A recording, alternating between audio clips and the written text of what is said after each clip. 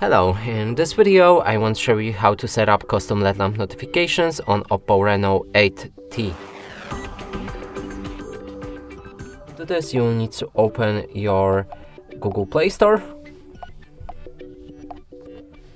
Now look for the app called uh, Notify Buddy.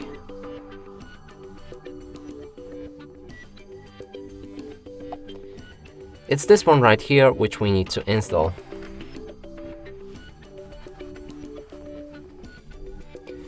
When the download is finished, you can click on open, move to the next step and grant three permissions.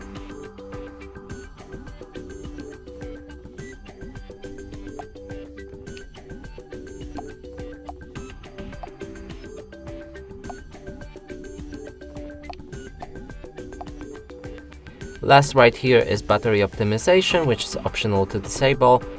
And now let's proceed. From here, app should be ready. You can see four tabs, user, system, active and settings. In user, you can pick any app to allow for a custom LED lamp notifications. In system, you can do the same thing, but with all system-bound apps. In active, you can find all apps that you just activated, and in the settings, you can change anything about your LED lamp, like a size, shape, placement on the screen, or a color. Let's click on the test button and we can see the LED lamp right here. And that's it for this video, hope you like it, please consider subscribing to our channel, leave a like and a comment below.